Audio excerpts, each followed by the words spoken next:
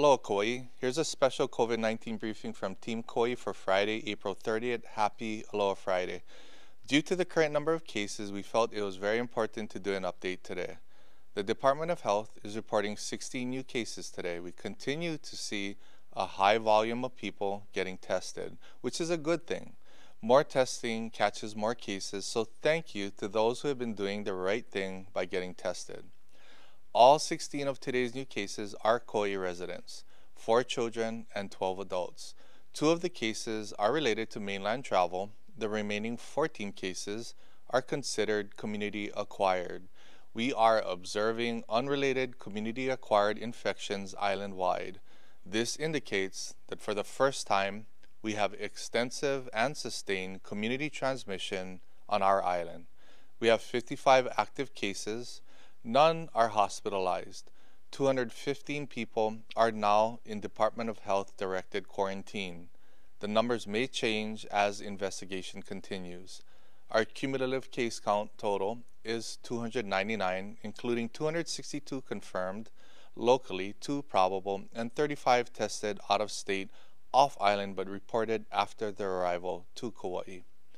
The rise in case counts were anticipated as we opted back into safe travels, but the sudden and sharp spike in cases is deeply concerning. Here is what we know. Most of the cases are community acquired and are not linked to mainland visitors. Most of the travel related cases are residents who traveled inter-island. We are starting to see more cases in children, but there is no evidence that transmission is occurring within schools. Although scientific evidence shows that young children may not see as severe symptoms, we are still unclear as to the long lasting effects in children.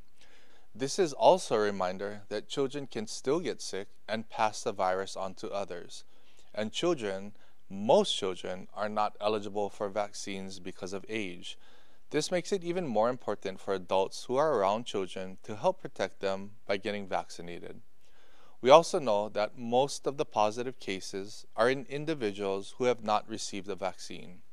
In the four cases of fully vaccinated individuals, they either had no symptoms or very mild symptoms. Vaccines are not 100% effective in preventing disease, but they provide a very high level of protection. And if you do become sick, you're unlikely to become seriously ill. I've been fully vaccinated, and aside from some mild body aches after my second dose, which lasted about a day, I feel a lot safer being out in public.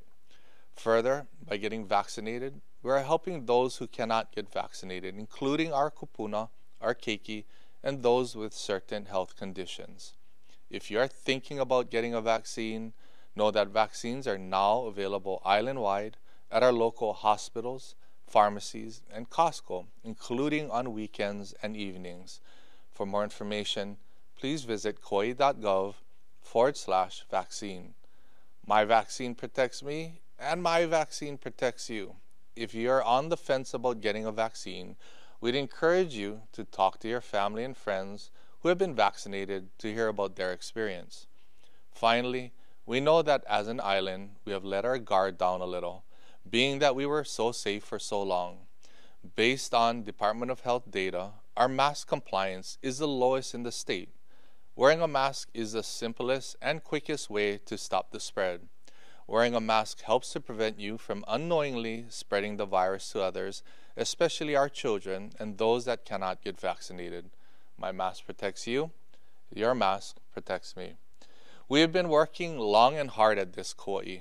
14 months in, and we still lead the way in vaccine distribution, low hospitalizations, and the least fatalities. But now is the time to come together once again and smash this curve. We have done it before, and we will do it again. Your incident management team is grinding away at mitigative measures and intervening in the current surge in cases. The four pillars of mitigation are prevention, detection, containment, and treatment. The absolute best method of disease prevention is through vaccination and getting back to basics, such as wearing masks and avoiding large gatherings. We have more ways to help with detection of the virus, which includes testing and contact tracing. By the way, If you have not yet downloaded the Aloha Safe Alert app, please do that today. By simply downloading this app, you're helping our island in contact tracing, which is typically a time consuming and exhaustive process. The app does not track you or your information, but will alert you if you have potentially been exposed. It is the official contact tracing application for the state of Hawaii, and you can download it from your phone's app store. Please know that contact tracers must follow strict guidelines when helping you determine who in your circle would be defined as close contacts. Of course, if you become a positive case, it's helpful for you to share that information with family and friends who may have been exposed. A huge mahalo to some of our recent positive cases who have been brave enough to share that they are positive. This has led to an increase in testing, which helps us identify and contain disease. If you become a positive case, you can remain isolated at home.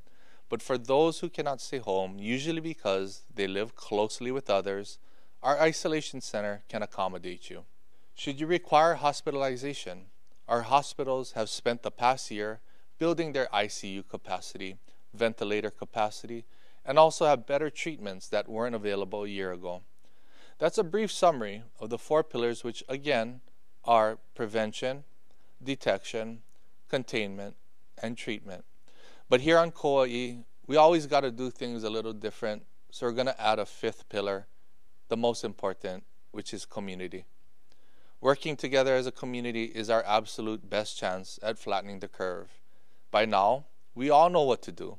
Wear a mask in public and avoid large gatherings. If you must gather, stay outside and wear your mask. If you're sick, stay home. If you travel, take extra precautions. Residents who travel pose a higher risk of spreading COVID because they go to work, they go to school, gatherings, and overall have more exposure to others. So it's important to limit your contact with others in the 10 days after you return home. And please, take a free post travel test at the convention hall three to five days after arrival. Most importantly, get a vaccine if you're able to. The sooner, the better, and definitely before you travel. Given our current spike in cases, many are asking what's next. We are headed towards a shift in tiers from Tier 4 to Tier 3. However, we also recognize that any additional restrictions should address the current cause of transmission, and we recognize that the current tier chart was created many months ago when we were in a different situation. At this time, our incident management team is reviewing all of our options to reach our best path forward, one that will help us to contain our case counts quickly in order for us to get back up and running. We will update you as soon as we've made a determination on any new rule or restriction. In the meantime, it's up to all of us to avoid getting sick and avoid making others sick. This is the most basic yet most effective way for us to move forward. As we enter into this weekend and the coming weeks, please be careful and use common sense. We don't need to live in fear, but we do need to take this seriously. Let's do this, Kauai. The power is in our hands to come together get this island back on track. We know what works to help prevent the spread of COVID 19 on our island. Please wear your mask. Remember, my mask protects you, and your mask protects me. Wash your hands, keep your distance, avoid gatherings, and of course, consider getting a vaccine. Now's the time. Mahalo for helping to keep Kauai safe.